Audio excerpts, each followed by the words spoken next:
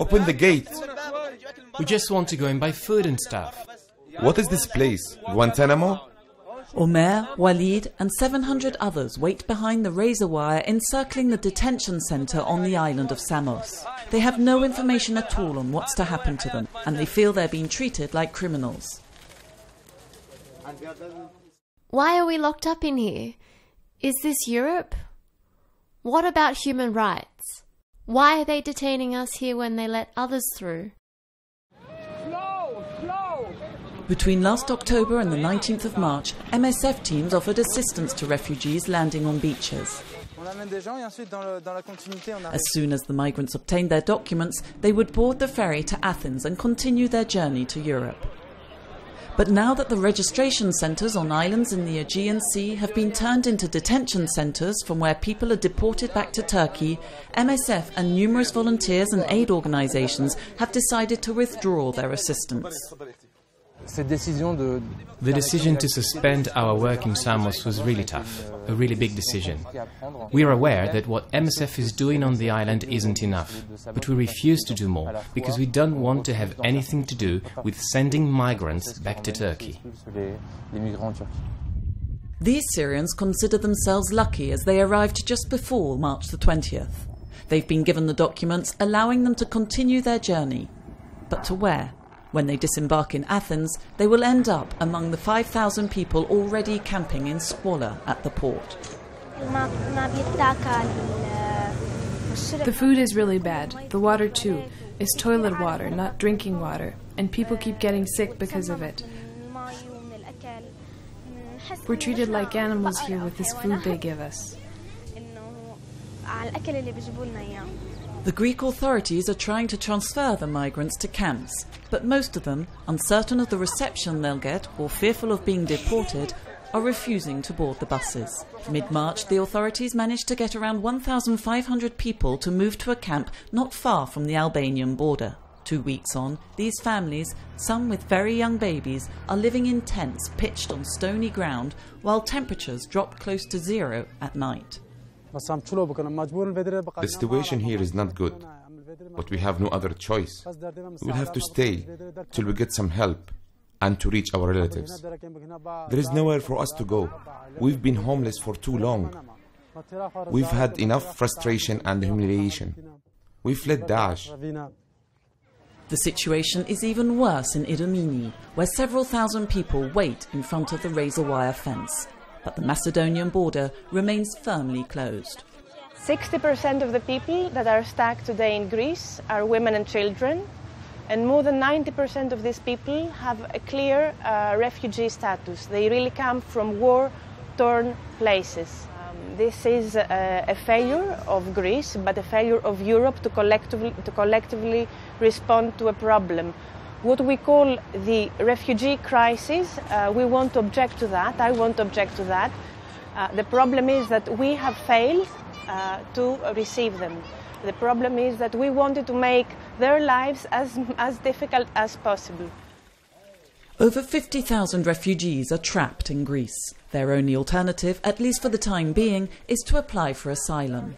But they're well aware that it's impossible for the country to process all the applications and adequately accommodate everyone.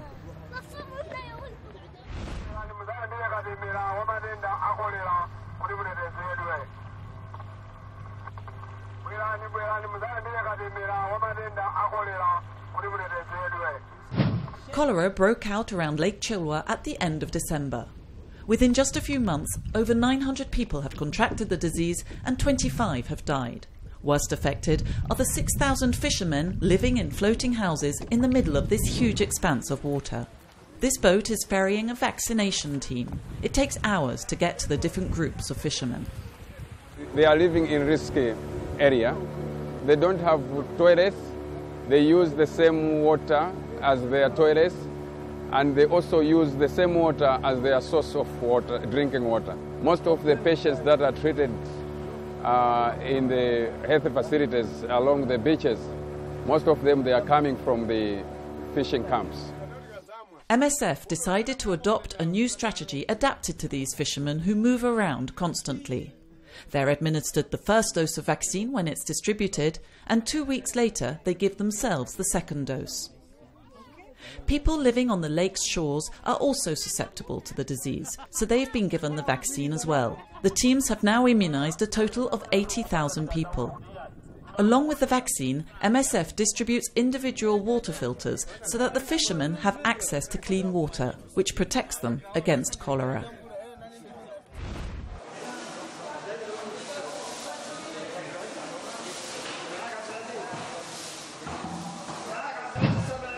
This is the emergency room in Médecins Sans Frontières hospital in Aden. Last July, the city was the scene of heavy fighting between the Houthis and the Saudi led coalition, and the hospital was just a few hundred metres from the front line. In spite of the signing of a truce mid April, the situation is still extremely tense, and many people injured during sporadic fighting or by landmines continue to arrive at the hospital. Some of the city's hospitals have reopened, but obtaining supplies remains a real challenge. The airport is still shut, and the only way MSF can get drugs is to ship them in from Djibouti.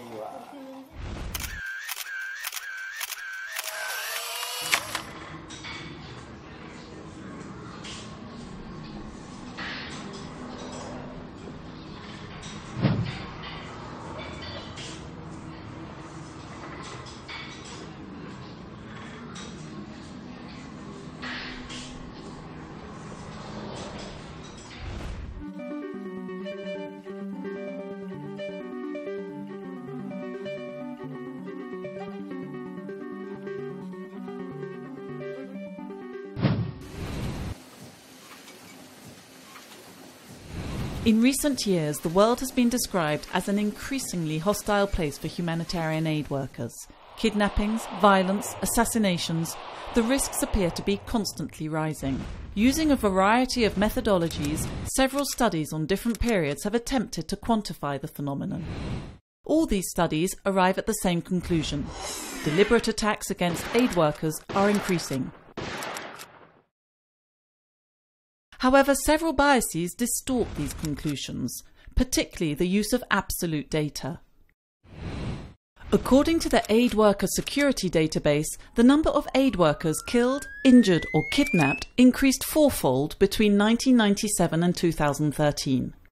But in proportion to the total number of aid personnel, victim numbers remain stable for the same period, fluctuating between 40 and 60 per 10,000 between 1997 and 2013. So aid workers are exposed to no more danger than before. Certain regions have always been more dangerous than others. For example, the Great Lakes region and the Horn of Africa between 1985 and 1998. Nowadays, it's Somalia, Afghanistan, Syria, and both Sudans. But even in these countries, sweeping generalizations are problematic, as annual homicide rates vary from 9 per 100,000 in Sudan and Afghanistan to 58 per 100,000 in Somalia.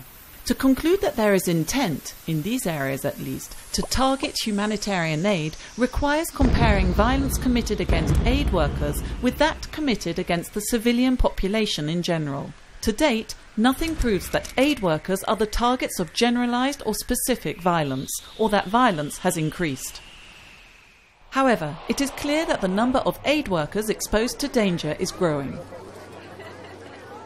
During the Cold War, delivery of humanitarian aid was usually confined to the fringes of hostilities, refugee camps for example, whereas now it is increasingly delivered right at the heart of conflict. And those delivering it are far greater in number. For example, the number of Médecins Sans Frontières staff has increased threefold since 1998. In Syria, MSF is providing support to 70 medical facilities, so inevitably the risk of becoming a target has increased accordingly.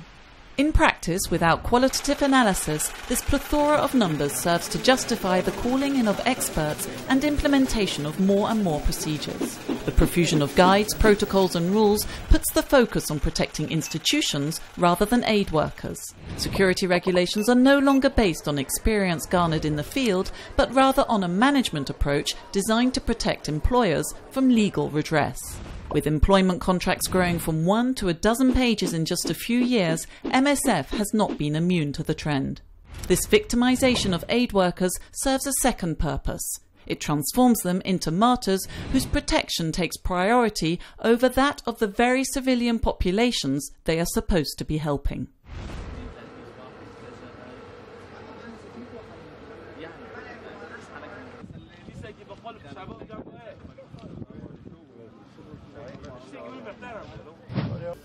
Tous les migrants à peu près, ils ont quitté leur pays à cause de la guerre. Et moi personnellement, même si je suis arrivé avec un visa et j'ai pas euh, pas fait le parcours, euh, j'ai vécu la même situation. C'était très facile de les comprendre, de de comprendre pourquoi ils sont tristes, pourquoi ils sont fâchés, pourquoi ils sont venus ici.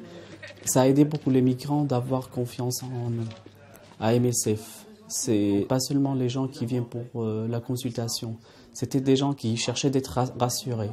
Et euh, c'était notre rôle au début comme traducteur. Même par exemple, moi je parle arabe, je parle pas farsi ou je parle pas pashtou. Mais c'était très important d'utiliser d'autres euh, langages, comme d'être toujours souriant, serrer la main, taper sur l'épaule s'il est fatigué, de transmettre le message sans parler. Je vois des jeunes comme ça qui, normalement, euh, qui devaient être à l'école, au lycée, à l'université, qu'ils ont tout perdu dans leur pays ils cherchent euh, l'espoir, ils cherchent leur euh, famille ou leurs frères qui sont en Angleterre, ils cherchent la sécurité.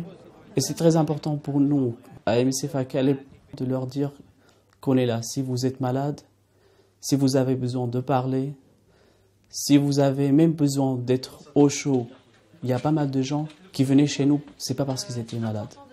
Mais on, le comprend. Il est là vraiment parce qu'il cherchait quelque chose. Et il a et je suis très très content qu'il le trouvait chez nous. Je ne crois pas que je vais oublier ça. Je ne vais jamais oublier qu'il y a des gens qui, qui souffrent vraiment. Ce soir, je vais rentrer chez ma famille. Je serai chez moi. Je, je vais prendre ma douche. Je serai dans mon lit. Avant, c'était normal. Mais maintenant, c'est complètement différent.